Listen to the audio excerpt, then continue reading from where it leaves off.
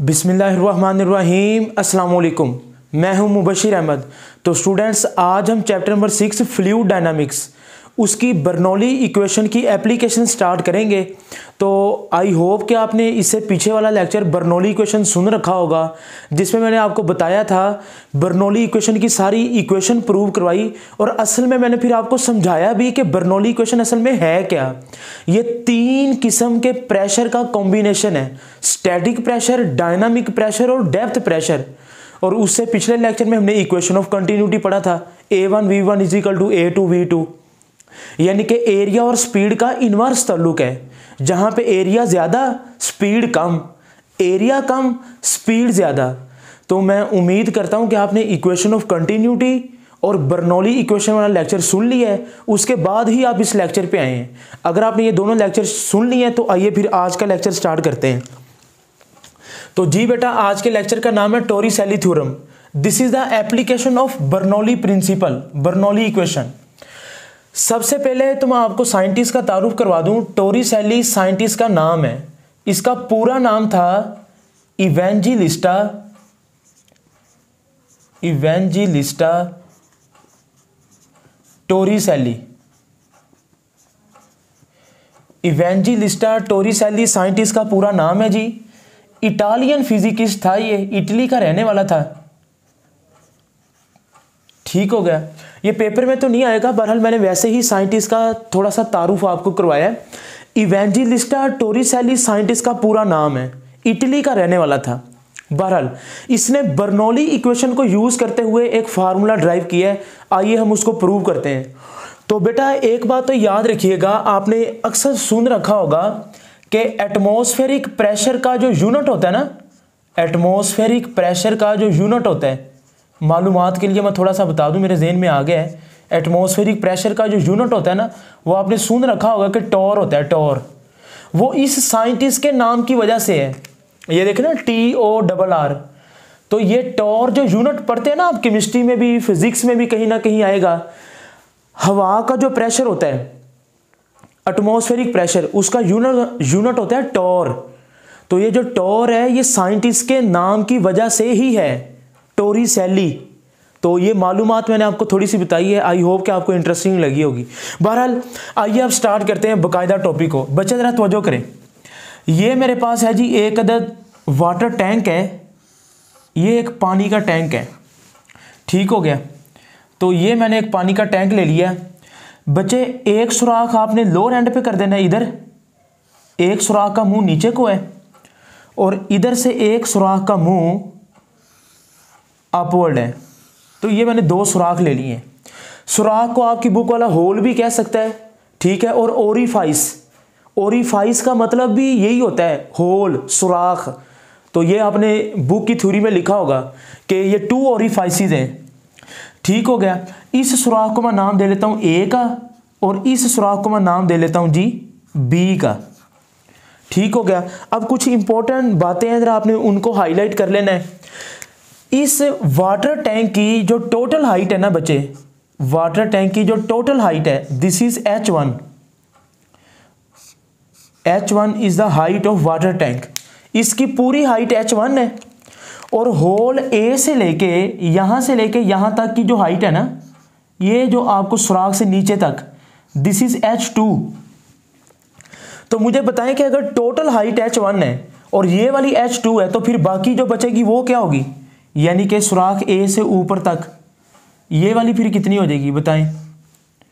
तो बच्चे, ये हाइट हो जाएगी H one minus H two ये आपको समझ आए कहने का मतलब ये मिसाल के तौर पर अगर ये हाइट दस मीटर है ना तो ये हाइट दो मीटर है। मैं मिसाल दे रहा हूँ तो दस माइनस दो तो ये आठ मीटर की हाइट है, यानी कि सुराख ए से ऊपर ऊपर तक। अब ये हाइट बड़ी इंपॉर्टेंट है। आपने इस चीज़ को गौर से देखना है। जाहरी बात है, इसके अंदर ये सारा फ्लूड भरा हुआ है, ठीक है? ये सारा मैंने फ्लूड बता दिया है। और ये याद रखिएगा, ये आइडियल फ्लूड है। आइडियल फ्लूड की सारी कंडीशन इसके अंदर पूरी होंगी। मैंने लेमिनर फ्लो टर्बुलेंट फ्लो और आइडियल फ्लो के ऊपर एक पूरा लेक्चर बनाया हुआ है। मैंने उधर डिटेल में सारा कुछ बताया है। तो consider an ideal fluid H one is the total height और ओरिफाइस ए से लेके, सुराख ए से लेके, जो नीचे तक की बेस तक की हाइट है, वो एच टू है। तो जब टोटल में से इतनी हाइट माइनस करेंगे तो ये बाकी यही बचेगी। अच्छा जी, ठीक हो गया। बेटा, ये जो आप, अभी ना हम सुराख बी को नहीं देखेंगे। जाहरी बात है, जब हम सुराख ये जो ओपनिंग करेंगे तो इसमें से फ्लूड बड़ी तेज़ी से निकलेगा। क्योंकि इक्वेशन ऑफ़ कंटिन्यूटी क्या कहती है? A one V one is equal to A two V two जब भी दो चीज़ें मल्टीप्लाई हो रही हो तो वो आपस में इन्वर्सली प्रोपोर्शनल है। यानी कि ये जो एंड है ना, आपको ओपन एंड नज़र आ रहा है। इसका एरिया ज़्यादा है। इधर पानी की स्पीड कम होगी। मिसाल के तौर पर मैं कहता हूँ कि इसका एरिया ए वन है। ये जो ओपन एंड है ना, इसका एरिया ए वन है। अब ये ज़्यादा है ना तो इसकी स्पीड क्या होगी? इसकी जो स्पीड होगी दिस इज़ वी वन और आपकी बुक वाला ये कहता है which is approximately equal to zero ये बात आपने जहन में रखनी है, क्योंकि जब मैं प्रूव करवाऊँगा तो उसमें ये चीज़ यूज़ होनी है।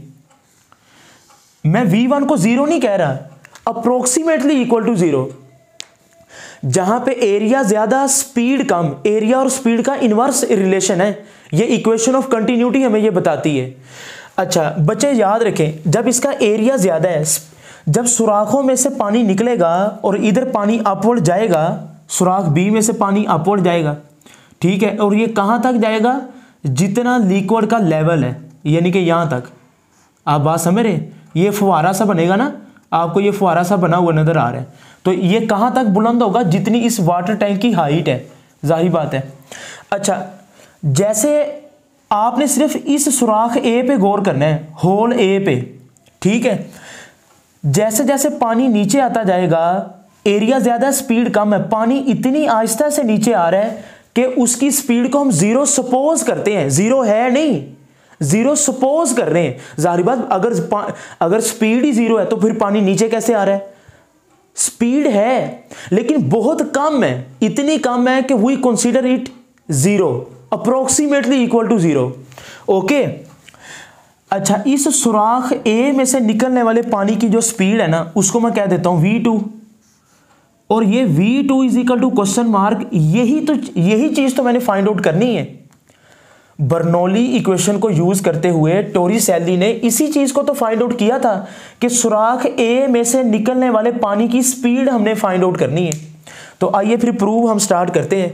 बच्चे, आपको याद है, बर्नौली इक्वेशन हमने इससे पिछले ही लेक्चर में प्रूव किया, क्या थी?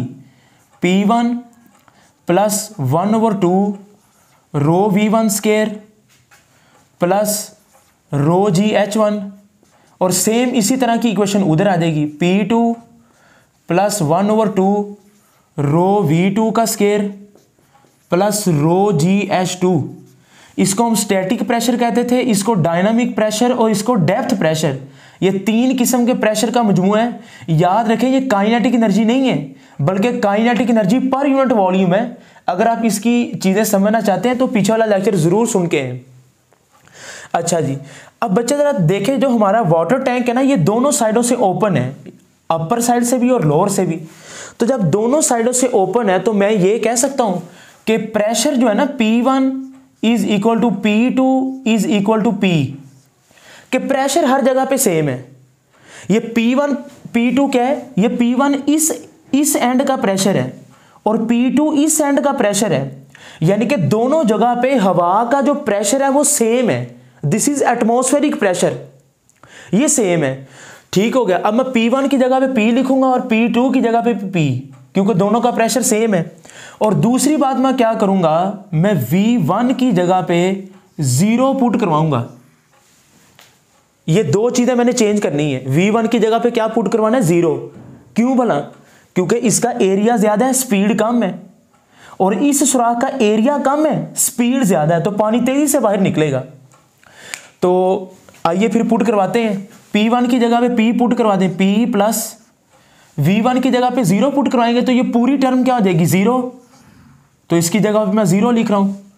Plus rho G H one और पी टू की जगह पे पी आ जाएगा। ठीक है। Plus one over two rho V two का square plus rho G H two ठीक हो गया जी। पी वन की जगह पे पी और पी टू की जगह पे पी और वी वन की जगह पे ज़ीरो तो ये पूरी टर्म ज़ीरो होगी। ओके तो अब बच्चे तरह देखिए पी से पी कैंसिल हो जाएगा, क्योंकि प्रेशर सेम है तो ये ये टर्म कैंसिल हो जाएगी तो बाकी क्या बचा फिर? रो जी एच वन और इधर से one over two rho V two का square plus rho G H two ये हाइट वाली टर्म को एक साइड पे कर लें, ये plus rho G H two इधर आके माइनस हो जाएगा। तो rho G H one minus rho G H two is equal to one over two rho V two का स्केयर समझ आ रही है? तो इधर से देखें, जरा रो जी कॉमन आ जाएगा। रो जी कॉमन आ जाएगा। H one minus H two is equal to one over two rho V two का स्केयर तो हमने फाइंड आउट क्या करना है? होल ए में से निकलने वाले पानी की स्पीड वो तो वी टू थी। मैंने क्वेश्चन मार्क डाला हुआ है। तो देखें जरा, रो से रो कैंसिल हो जाएगा। What is rho? ये रो है क्या? दिस इज़ डेंसिटी किसकी? पानी की। और ये जो पानी की डेंसिटी होती है ना, ये एक हज़ार होती है। तो क्योंकि पानी तो जाहरी बात है, सुराख ए से भी पानी वही निकल रहा है ना जो हमने फील किया है। तो density of water is same everywhere ठीक है? हाँ कोई और लिक्विड यूज़ करेंगे तो फिर उसकी डेंसिटी होगी। तो मैंने इधर वाटर को कंसिडर किया है। बहरहाल टू डिवाइड हो रहा है, इधर जाके मल्टीप्लाई हो जाएगा। तो two G H one minus H two is equal to rho से रो कैंसल टू डिवाइड हो रहा है, इधर आके मल्टीप्लाई हो गया। तो बाकी क्या बचा? वी टू का स्केयर तो स्केयर खत्म करने के लिए taking square root on both side taking square root on both side तो बच्चे, इसको साथ में रीअरेंज भी कर लें ये राइट वाली साइड को लेफ़्ट पे लिख लें। तो क्या लिखेंगे? V2 टू ये आ जाएगा v2 two is equal to इसको मैं इधर ले आऊँ और लेफ़्ट वाली को राइट पे ले जाएँ ताकि तरतीब भी सही हो जाए। तो two G H one minus H two whole का अंडर रूट होल का अंडर रूट आ जाएगा। तो ये आ गया जी आपके पास फाइनल इक्वेशन बेटा, इसको हाईलाइट कीजिएगा। This is the equation of Torri Torricelli theorem V two ठीक है? V two is equal to V two is equal to under root two G H one minus H two बहुत ही important equation है। इसकी ज़रा खूबियाँ मैं आपको बताता हूँ। पहले ज़रा आप इसका प्रूव नोट कर लें अच्छे तरीके से। तो जी बेटा, आपको प्रूफ सारा समझ आ चुका है। अब ज़रा इसकी डेफिनेशन पे तवज्जो करें। मैं इसकी डेफिनेशन लिखता हूँ। टोरीसैली थ्योरम की। तो टोरीसैली थ्योरम की डेफिनेशन क्या देगी the speed of the speed of efflux efflux किसे कहते हैं भला? ये जो होल ए में से पानी निकल रहा है ना इफ्लक्स का मतलब होता है इखराज। पानी का इखराज तो पानी के इखराज की speed the speed of efflux is the speed of efflux is equal to velocity is equal to velocity gain by the fluid by the fluid through distance through distance h1 minus h2 under the action of gravity under the action of gravity ज़रा इस चीज़ को note करें, फिर इसका मतलब भी समझा देता हूँ। जी, अब ज़रा पढ़ें इसकी डेफिनेशन में क्या कहता है।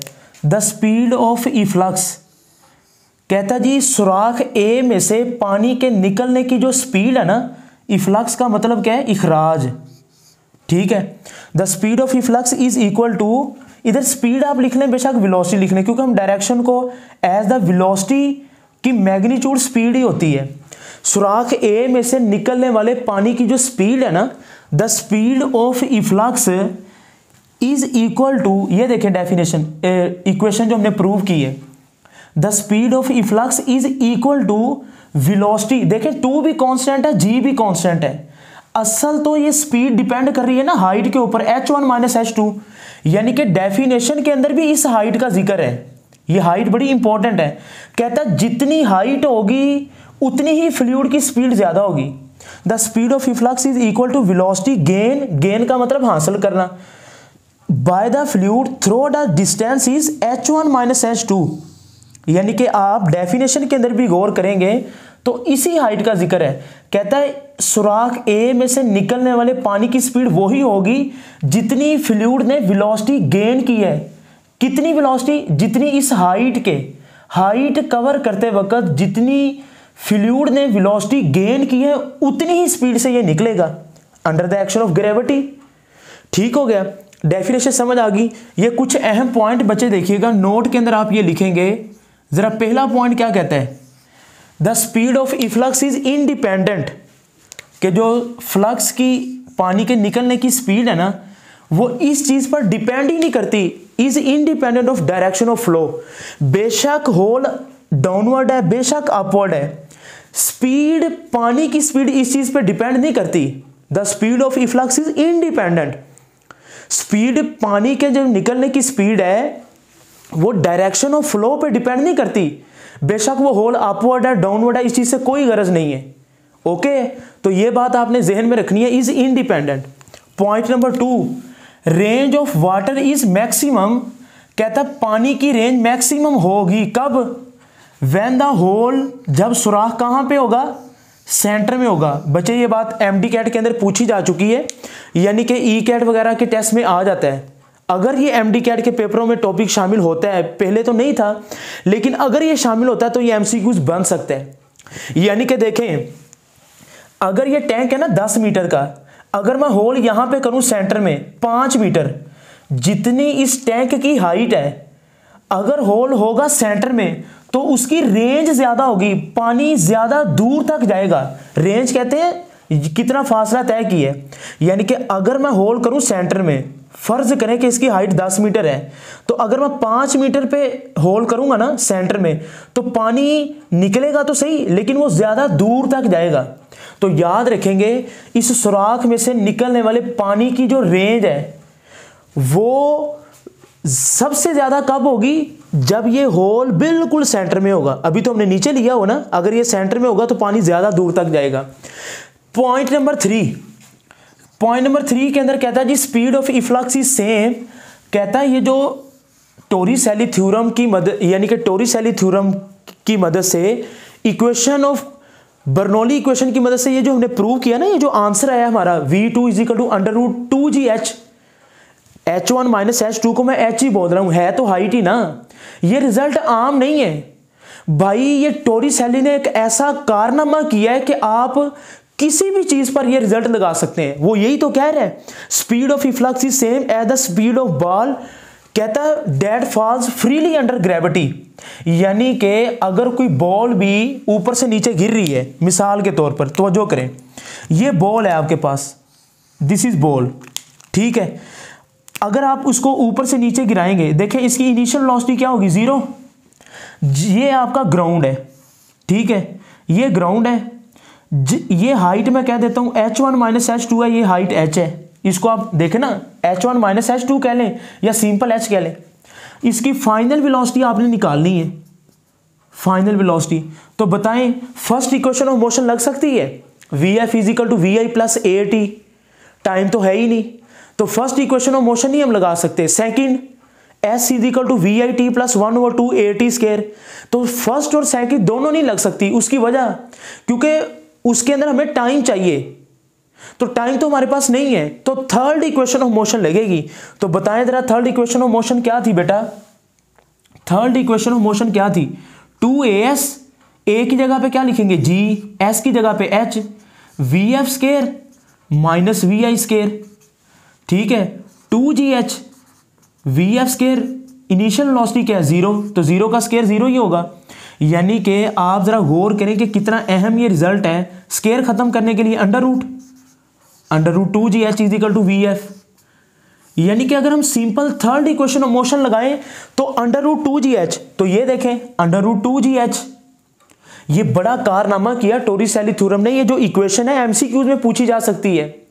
भाई, ये हर उस चीज़ पे लग सकती है जो चीज़ फ्री फॉल करती है। वो बेशक आपका पानी है, बेशक आपकी बॉल है।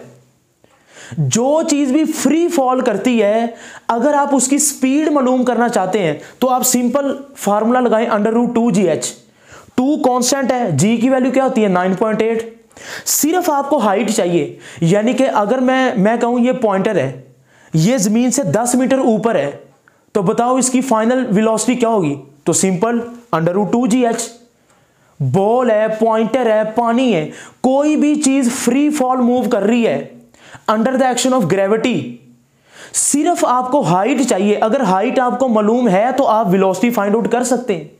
तो ये टोरी सैली ने जो कारनामा किया है कोई आम थोड़ी था। ये फार्मूला हर उस चीज़ पे लगता है, जो फ्री फॉल मूव करती है। बेशक वो बॉल है, बेशक वो पानी है। देखें सुराख किया तो पानी भी तो फ्री फॉल ही मूव कर रहा है। ये डेफिनेशन के अंदर लिखा तो हुआ है under the action of gravity तो बच्चे आई होप कि आज का लेक्चर आपको अच्छा लगा होगा। कमेंट सेक्शन में इसका फीडबैक ज़रूर दें। ये लॉन्ग क्वेश्चन के तौर पर पूछा जा सकता है। अपना बहुत सा ख्याल रखें। दोस्तों के साथ लेक्चर को ज़रूर शेयर किया करें ताकि ये इलम का सफ़र आगे चलता रहे। मुबशर अहमद को दें इजाज़त। अल्लाह हाफिज़।